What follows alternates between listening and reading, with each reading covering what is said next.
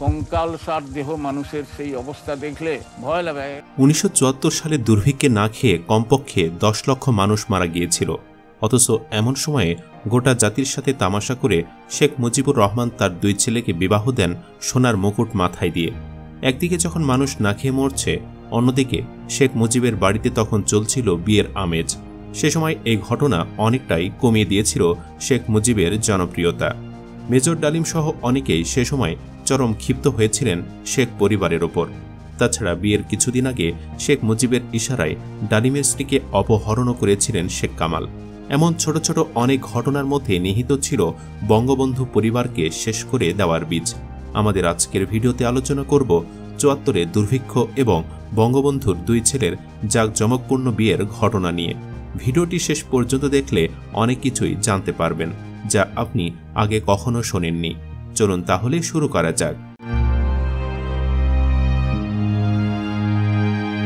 সদ্য স্বাধীন দেশ বছর ঘুরে তৃতীয় বছরে পা দিতে না দিতেই জনগণের প্রত্যাশার প্রদীপ ধপ করে নিভে যায়।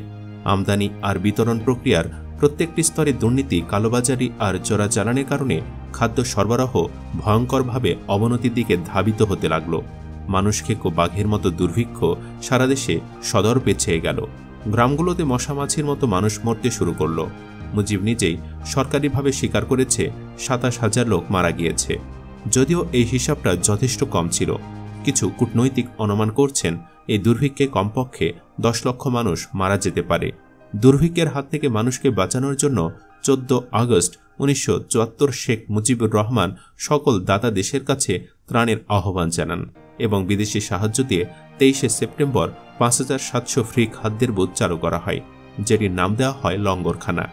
সারা দেশ থেকে মানুষ ছুটে চলল শহরমুখী। তাদের প্রত্যাশা ছিল, মুজিব তাদের মুখে দুমুঠো ভাত তুলে দেবে, কিন্তু তাদের আশা যে আশায় রয়ে গেল। কারণ লঙ্গরখানা লুটপাট করে খেয়েছিল আওয়ামী নেতাকর্মীরা।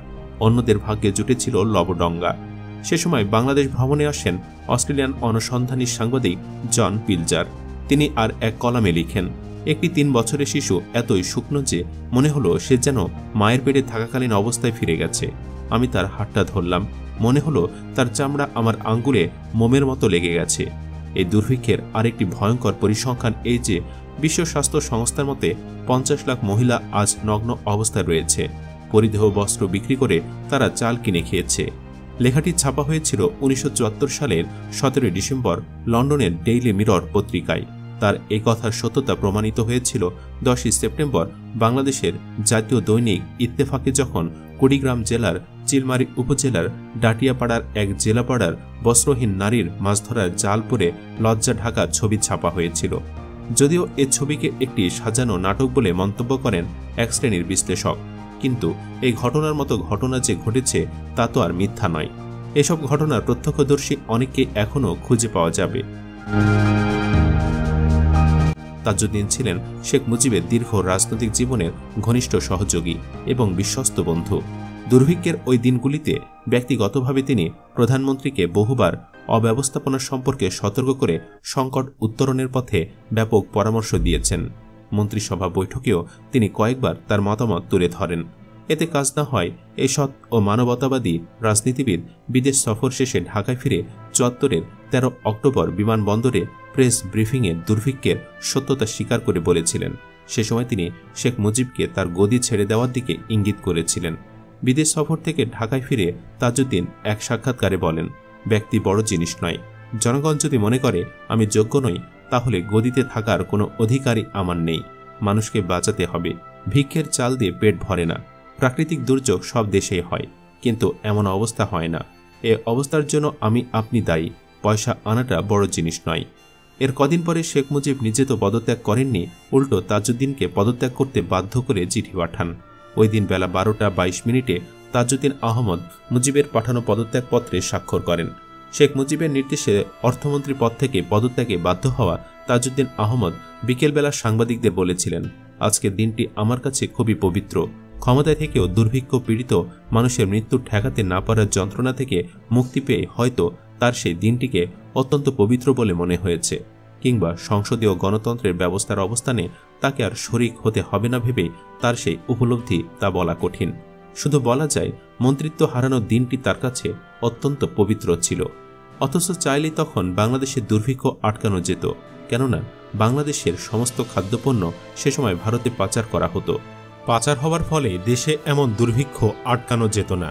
পঁচিশে অক্টোবর ঢাকার সংবাদপত্রে বের হয়, ট্রাক বোঝায় ধান চাল ভারতে পাচার হচ্ছে। এ সময়ে পঁচিশে অক্টোবর আওয়ামী লীগের তৎকালীন সভাপতি জনাব কামরুজ্জামান দাবি করেন, দেশের প্রচলিত আইনে চোরা চালানিদের দমন করা হচ্ছে না। কয়েক মাস আগে সংসদে চোরা চালানিদের গুলি করে হত্যা করার বিধান পাশ হয়, কিন্তু কাউকে কোনোদিন ওই বিধানে হত্যা করা হয়নি।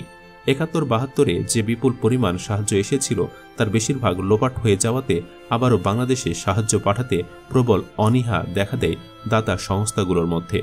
লুটের সিংহভাগ হয়েছে রেড ক্রসের মাধ্যমে। চুয়াত্তর সালে জরুরি অবস্থা চালু হয়। সে যাই হোক, অনাহারে হুহু করে মানুষ মরছিল। এরই মাঝে সতেরোই মার্চ শেখ মুজিবের পঞ্চান্নতম জন্মবার্ষিকী উপলক্ষে পঞ্চান্ন পাউন্ড ওজনের কেক কাটেন। যখন হাজার হাজার মানুষ না খেয়ে মরছে, তখন শেখ কামাল এবং শেখ জামালের বিয়ে হলো সোনার মুকুট মাথায় দিয়ে। বলুন তো, দুইটি সোনার মুকুটের দাম কত? সে যাই হোক। উনিশশো পঁচাত্তর সালে চোদ্দ জুলাই বিয়ে হয়েছিল নতুন গণভবনে বিশাল আয়োজনে। অগণিত অতিথির ভিড়। মনে হচ্ছিল পুরো ঢাকা শহরটা এসে উপস্থিত হয়েছে বিয়েতে। বর্ণাঢ্য জাঁকজমক পরিবেশে বিয়ের আয়োজন করা হয়েছে। বিয়ের মণ্ডপে কামাল জামাল দুই ভাই সোনার মুকুট মাথায় দিয়ে বর সেজে বসেছিল। বিয়ের পরদিন প্রায় সবগুলো দৈনিক পত্রিকায় বড় করে ছাপানো হলো। প্রধানমন্ত্রীর দুই ছেলের সোনার মুকুট মাথায় পরে বিয়ের খবর। এই পাতায় ছাপানো হয়েছিল দুর্ভিক্ষ পীড়িত, অনাহার ক্লিষ্ট, হাড্ডিসার, মুমূর্ষ, মানুষ নামী কঙ্কালের ছবি এবং দুর্ভিক্ষের খবর। যদিও অনেকেই বলেন বঙ্গবন্ধু দুই ছেলের বিয়ের সময় দুর্ভিক্ষ ছিল না। দুর্ভিক্ষ ছিল না ঠিকই, কিন্তু দুর্ভিক্ষের যে ক্ষত তা তখনও মানুষ ভুলতে পারেনি। অন্তর থেকে মুছে যায়নি স্বজন হারানোর বেদনা। উনিশশো বাহাত্তর সালে কোনো এক বিয়ের অনুষ্ঠানে প্রধানমন্ত্রী শেখ মুজিবুর রহমান ইচ্ছা প্রকাশ করেছিলেন, কবে যে বাংলাদেশে মেয়েরা স্বর্ণালঙ্কার বাদ দিয়ে বেলি ফুলের মালা পরে বিয়ে করবে। তার এই খাইশটাও বেশ ফলাও করে বেরিয়েছিল খবরের কাগজগুলোতে। কিন্তু রাজনীতিবিদদের কথা আর কাজের মধ্যে কত তফাত সোনার মুকুট পরে বিয়ের ব্যাপারটা হয়তোবা ছোট, কিন্তু এ বিষয়টা বেশ আলোচিত হয়েছিল সব মহলেই। ইতিহাস সত্যি বড় নির্মম। সারা দেশের মানুষ না খেয়ে মরছে, কিন্তু তার দিকে যেন রাষ্ট্রপ্রধান বঙ্গবন্ধুর কোনো খেয়ালই নেই। তিনি তার পরিবার নিয়ে দিব্যি সুখেই ছিলেন। অথচ শেখ হাসিনা বলে বেড়ান, শেখ মুজিব নাকি গাড়ি বিক্রি করে ছেলের বিয়ে দিয়েছিলেন। আসলে গাড়ির দাম কত হয় বলুন তো? সে টাকা কি সোনার মুকুট কেনা যায়? হাজার হাজার ভিআইপিদের আপ্যায়ন করা যায়? এখন প্রশ্ন হলো, সারা দেশে দুর্ভিক্ষ, তার মাঝে তিনি এত অর্থ কোথায় পেলেন? যদি তার জমানো অর্থ থাকে, তাহলে কেন সে টাকা ক্ষুধার্ত মানুষের মধ্যে বিলি করলেন না? সারা দেশের লোক না খেয়ে মারা যাচ্ছে, তার মাঝে তিনি কি করে পঞ্চান্ন পাউন্ড কেক কেটে জন্মদিন পালন করলেন।